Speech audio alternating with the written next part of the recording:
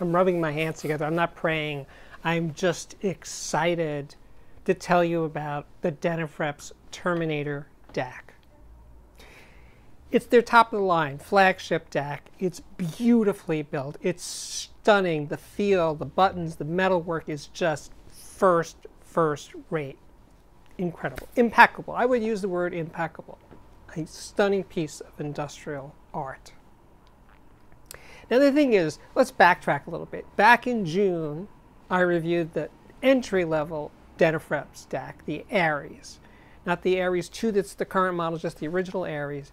Talk about being blown away. I was 100% knocked out by that little DAC because it had analog like qualities and i don't mean that it was softer or mellow or anything it just it was engaging in an analog type way.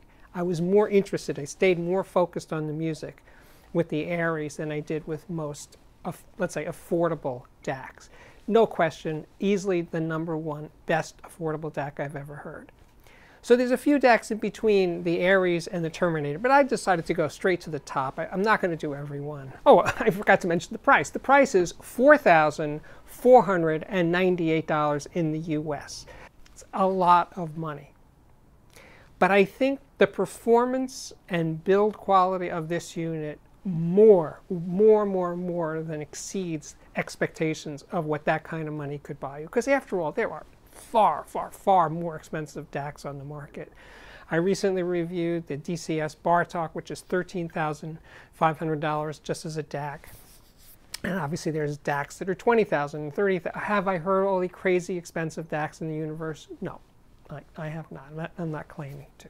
But I've heard them uh, enough to know that what you get with the Terminator is a giant helping of what the top, top, top models can give you. The same as, no, I am not saying it's the same.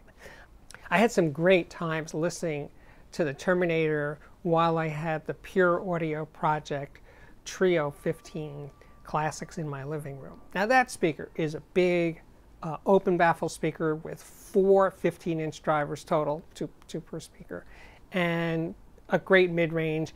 And it had this ability to play loud effortlessly, just dynamics to die for. And I was using this recording of, uh, it's called uh, Explorations in Space and Time. It's an all percussion recording session. I was present at the session, and I'm playing it on the Terminator with. Um, Pass Labs XP30 preamp, a Jay's Audio CD2 Mark II CD transport, which is the only transport I used for this test. Um, and the amps was, I'm pretty sure the amp was a Pass Labs XA25. I was using some First Watts in there as well. But these days with the, with the Pure Audio project, and I'm playing uh, this percussion record as, as loud as I, I could tolerate. Uh, uh, it just was so thrilling, so alive, so correct, so much like the cliche of being there. I just was sitting there shaking my head saying, I can't believe how good this is, how satisfying it is, how much the, the big, there were big bass drums on this session, there was little percussion instruments, and the recording is uncompressed and it was recorded in a, in a church, not a dry, dead sounding recording studio, but in a beautiful acoustic. And I could hear that, that church's acoustic, and it was goosebump time, absolutely, positively. That system just was checking every freaking box on my list. So, anyway, I'm going to get more into what I heard, but uh, let's just talk about some of the details. So, Denafrips including the least expensive one that I did, the Ares, to the Terminator, they make R2R resistor ladder DACs. Now, there are some resistor ladder DACs out there that are basically a DAC on a chip, but these uh, DACs are not chip-based DACs. They are true resistor ladder DACs, and inside the Terminator, there are a total of 1,000 resistors that are part of the DAC and they are to incredibly tight tolerances, 0.005%. That is the heart of what makes this DAC so extraordinary. Now they're also using uh, these femto clocks, uh, massive power supply. I'm showing you a picture of it right now with a separate toroidal transformer for the digital part of the circuitry and a separate uh, toroidal for the analog side. Um, the build quality is absolutely superlative. Uh, it does high res, it does all those things. I'm going to list all the techie things in the description box directly below this video. And yes, it does DSD for you DSD fiends. It does native DSD uh, to a high order. Yes, the numbers will be listed below. Um, and the, the inputs uh, and outputs are, are the usual. It is a fully balanced DAC. Now, one of the inputs that you don't see that often is I squared S which I was happy to see because the uh, Jay's audio transport that I was using, the CD2 Mark II, has, in addition to balance and coaxial outputs, it also has an I squared S. So it was natural to use those two together from the transport to the terminator, and I can say, yes, it makes a difference. Earth-shattering difference? No, not, not even earth-shattering. I would say an audible difference, yes, but nothing to lose sleep over. But anyway, it was there, so I used it. But I also used the Terminator with its AES uh, input as well, and also the coaxial. So it is, um, I have no complaints. Oh, I do have a complaint. I do have a, a, a small complaint re regarding small. So like the little guy, like the Ares, the LED indicators on the front panel of the Terminator are really, really, really tiny and really, really dim. So you might not even notice that they're on. So the, the upside to that is they won't be searing your eyeballs from across the room when you stare into it because they're barely there and they're tiny. And the labeling below those uh, LEDs is really virtually impossible for me to see.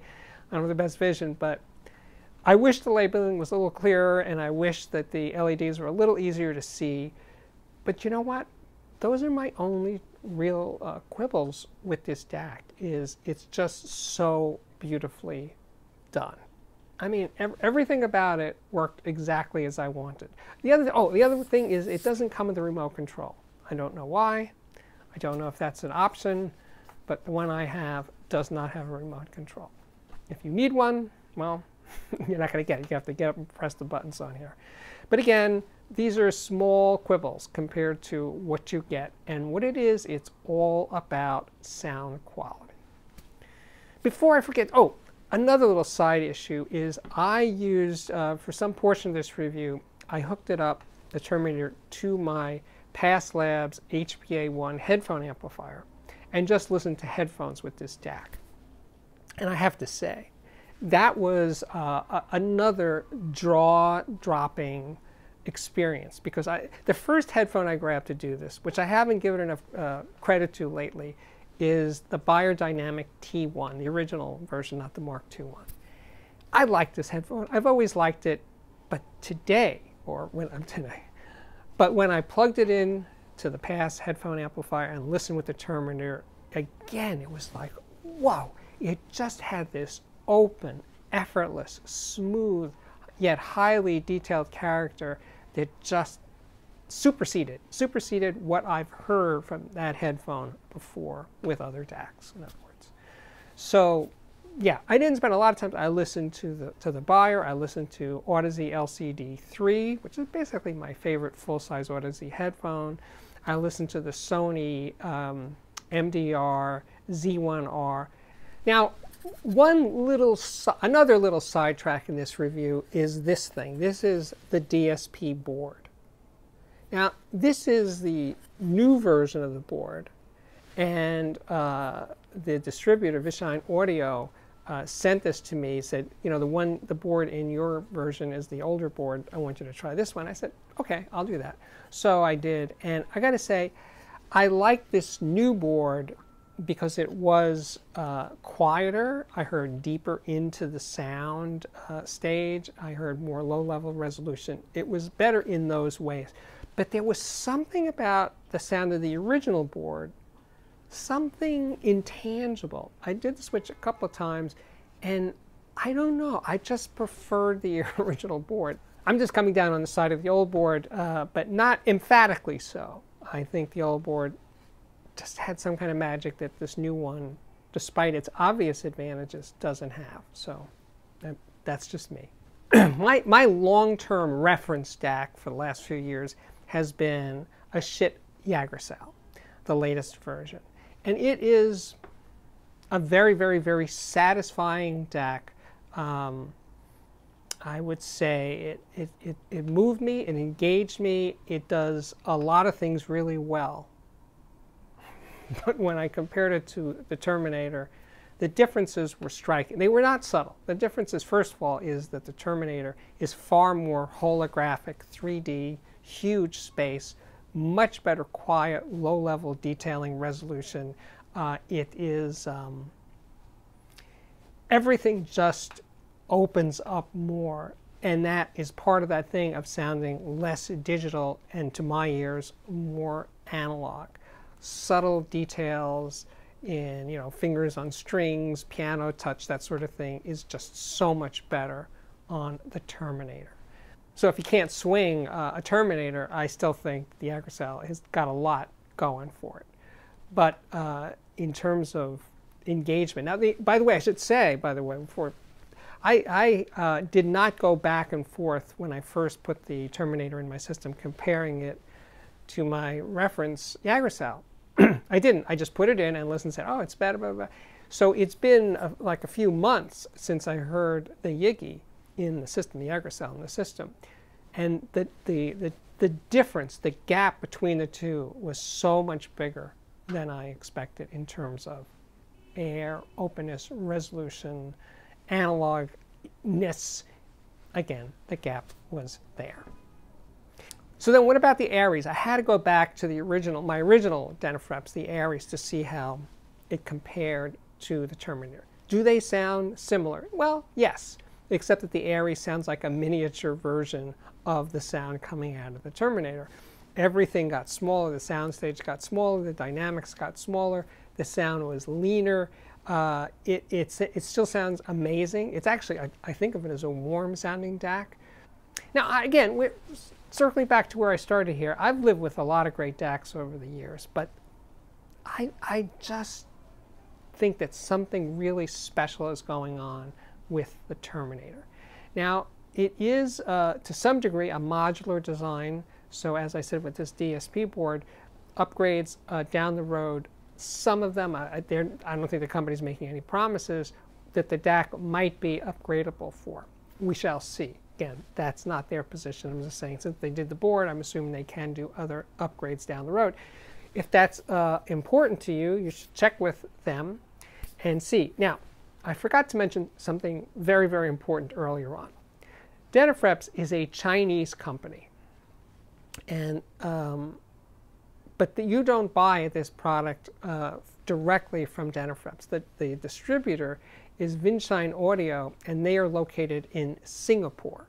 And I will link to their website, to the Vinshine website, directly below. And the prices listed on the Vinshine website are in Singapore dollars. Um, as far as I remember, the, those prices include free shipping worldwide. But you need to convert those dollars, those Singapore dollars, to US dollars or the country where you're, where you're located to know the price of the product. But since the price lists uh, Singapore dollars as dollars, you might think that those mean US dollars, and they're not. So be aware that there's a conversion that takes place. Uh, my name is Steve Guttenberg. This is the Audiophiliac Daily Show. And I'm happy that you're here. And if you dig it, if you dig what I do, I've made, I think last time I checked, 760 videos for this channel. If you like what I do, please subscribe. Hit that button down there. And when you do, hit it twice so that you'll be notified every time there's an amazing new episode of the Audiophiliac Daily Show. You got to check out the playlist. There's playlists for uh, electronics reviews, there's playlists for speaker reviews, playlists for headphone reviews, for music reviews, lots and lots of interviews, all kinds of good stuff there. So don't just look on the, the home page of the Audiophiliac Daily Show. Look around on those playlists. You'll find plenty to enjoy. now I think I really am done. So I will get to the point where I say, uh, if you dig what I do, check out my Patreon at p-a-t-r-e-o-n dot com slash audiophiliac. And as always, thank you so much for watching. See you again real soon.